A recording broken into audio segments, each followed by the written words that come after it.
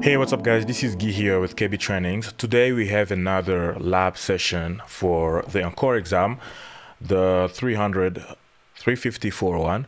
Um, this is something that I do here in KB Trainings just to share with you, and uh, it's not a course, uh, but it can help if you if you're really following through. Uh, today we're gonna work on ether channels, and um, if you want to know more on the ether channel, of course you go on the Cisco's website. They have a lot of things, and uh, you have a you have you have a huge documentation here. Explaining you exactly what ether channel, but to give you an overview of what it is if you don't and if you if you are still trying to get to know all these things i have a cisco ccna course on kbtrainings.com and um, if you are watching this on youtube please like the video to encourage me to make more of these and also subscribe to the channel for more fun if you like it but if you are on kbtrainings.com, that's fine. Uh, thank you for that. If you are not, go on kbtrainings.com forward slash encor. I'm still working on a forum uh, where we can discuss. Uh, it's going to be ready pretty soon. I'm very busy these days.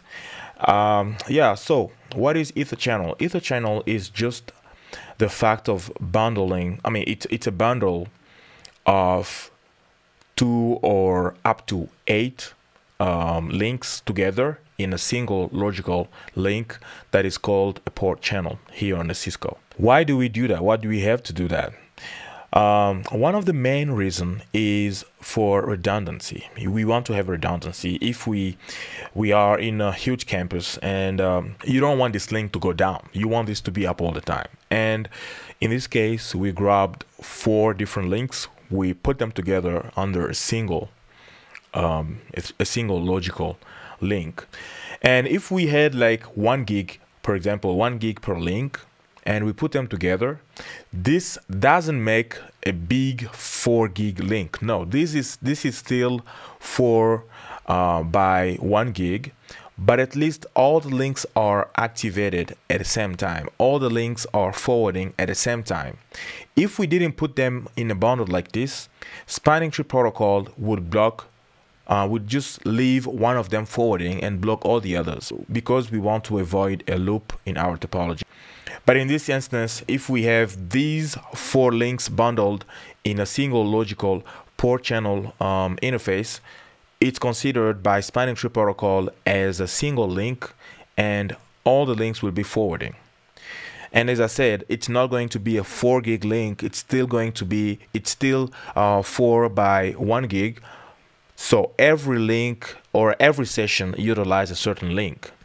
You then need to know how to balance your traffic across those different different links. Because if you are if you have let's say just a single computer um, on your on your switch that single computer if you are using maybe just its IP or its MAC address for load balancing that's going to be using that single port all the time. And all the other three will remain unused and that's a waste of bandwidth so what you can do is balance depending on your situation. If you have a single server going to many many different destinations you can balance um, the, the you can balance the load um, utilizing the MAC address of the destination for example or no, not the MAC address, the IP of the destination, because the MAC address will probably be the same thing if you are, I mean, whatever.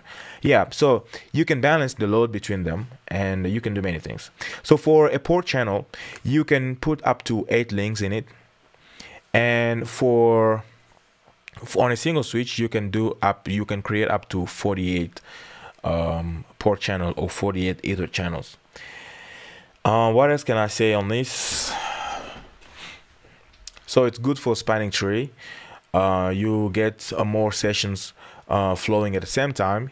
You also um, you get redundancy in case one of the links goes down and uh, yeah it's just, just a pretty cool thing so this link will be in a course and if you are just if you are in if you are on kbtrainings.com just scroll down and you can see this read all of this it's not hard so what are different modes that you can use to create ether channels the first mode is the on mode you can just turn it on you turn it on it's like hard coding it to be on all the time the second thing is that you can use uh, protocols. We have two main protocols. The first one is Cisco proprietary. It's called PAGP, and you have two modes under that protocol. You have the auto and the desirable mode. If you are on the auto, just like uh, what was the other thing? Just like the trunking, if you are on the auto, um, and you have auto on one end and auto on the other end, the, you will not have an ether channel because auto doesn't initiate. Auto waits for the other uh, party to initiate. And if you have auto and desirable, you'll have uh, you'll have an ether channel. Or if you have desirable and desir desirable, you have ether channel. Uh, that's for PAGP. You can also use LACP, which is open standard. For I don't know if it's IEEE or yeah, I'm, I'm not sure. It's not important. So if you use LACP, you have two modes. You have active and passive. Passive and passive are shy. Nobody's gonna make the move. If you wanna, if you want it to work, you do passive and active or active and active. All right, so right away, let's jump into our topology and we are going to test this out. All right, so we have our two switches uh, configured and ready. Switch one and switch two.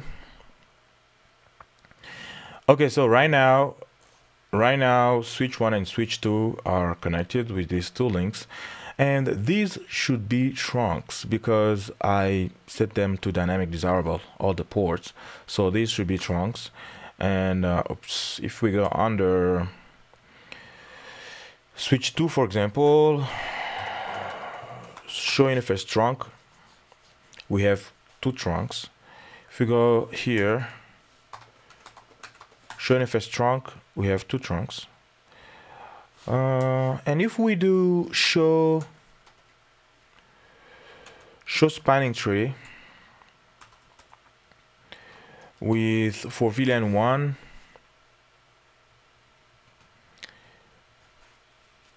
you can see that or oh, maybe I was looking at different ports okay that's fine you can see that um, the gigabit 0 slash 0 is forwarding but 0 slash 1 is blocked. And if we go under switch 1, I mean, I think switch 1, all of them should be forwarding because switch 1 is the root. So the root here is different from this. So switch 1 is the root and all the ports should be forwarding. So this is what we don't want. We don't want one link to be wasted like this. That's why we create ether channel.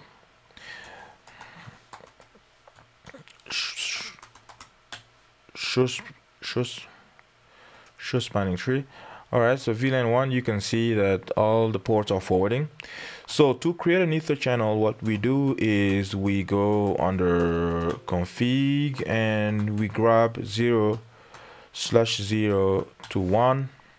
No, interface range. And what we do is um, channel group, um, we give it number 1 as I said, you can create up to 48 um, port channels and uh, you can have up to eight interfaces per channel. So mode, what mode do we want to use here? Maybe PAGP. So I'm going to do this as auto. So the other side will be desirable. And that's it.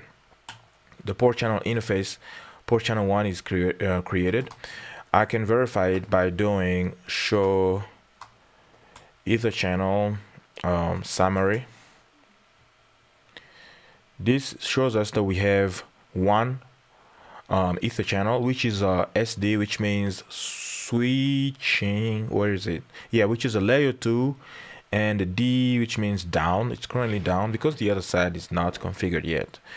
And these two ports are part of this um, ether channel. We're using PAGP and there are I which means standalone. Okay they are now standalone in the ether channel. So we go on port 2 I mean switch 2 and conf um, interface range gig, uh, gig 0 slash 0 to 1 we do um, channel group one um, mode desirable.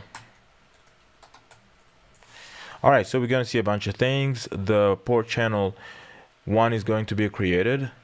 The interfaces are going to be added to that port channel one and it's currently up. If we do show ether channel uh, so ether channel summary we can see that it's now up. So s as in layer 2 u as in in use. And the ports are in a bundle in the port channel. So bundled in the port channel. That's the p that we have here. And if we do show spanning tree we can see that even though this is not a this is not the root all the ports are forwarding including our logical port which is port channel 1 and uh, yeah same thing on this side. Show ether channel. I should say summary. Summary. It's in use and these two ports are participating and uh, if we do show spanning tree you know exactly what's going to happen. So um it, that was so easy. Yeah it just uh, it's just that simple.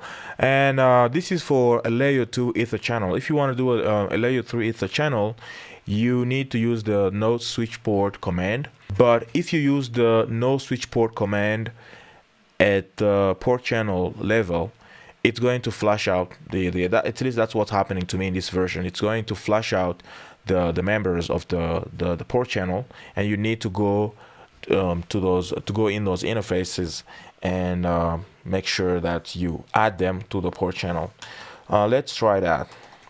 If we go under interface PO1 and we do no switch port look at what's happening now. Uh, if I do show ether channel summary again they're gone. No protocol no nothing so that's why um, the good way to do it oh I didn't add an IP to PO1 let me give it an IP 10.0.0.1 no IP address. And uh, with the default subnet mask. Okay. Uh, oh, I shouldn't have done that interface range uh, gigabit 0 slash 0 to 1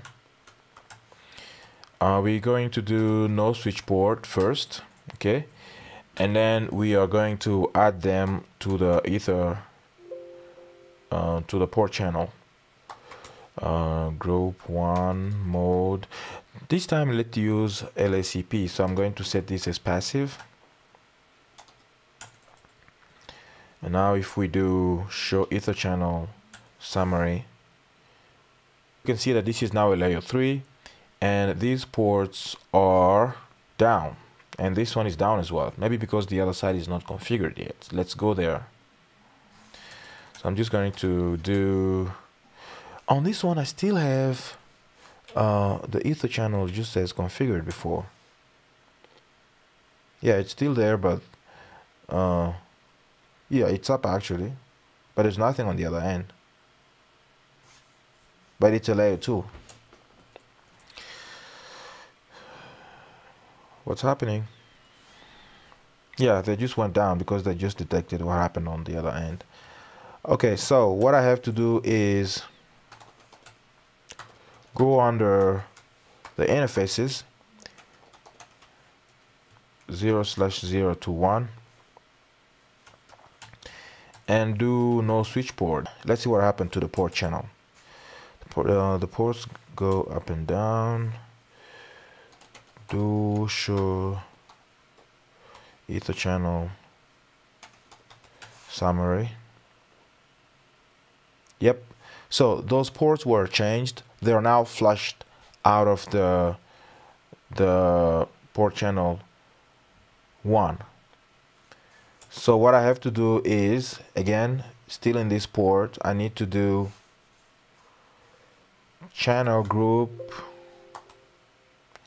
1 mode active. Okay. It's refusing because I already have a port channel created and I'm trying to add layer 3 ports on a layer 2 ether channel. So what I have to do is go under PO1 and do a no switch port there. So now I can come under my interfaces and run the command. Alright now it's working. If I do show ether channel summary we have it and it's up. LACP currently not enabled on the remote port. LACP not enabled? I think I did LACP let's see. I have LACP here. What what are they talking about? Oh maybe it's down. Okay. Yeah so we just go under interface PO1 and do a shut no shut. And uh, it should come up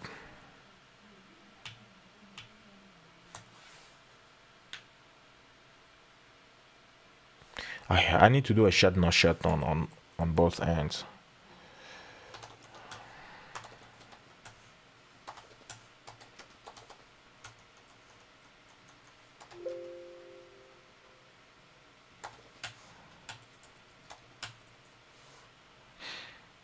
Okay.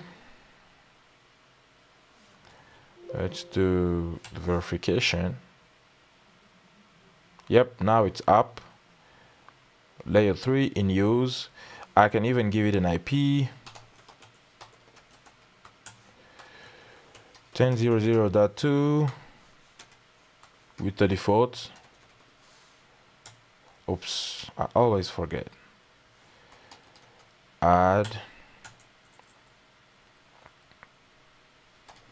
Let me try to ping 10.0.0.1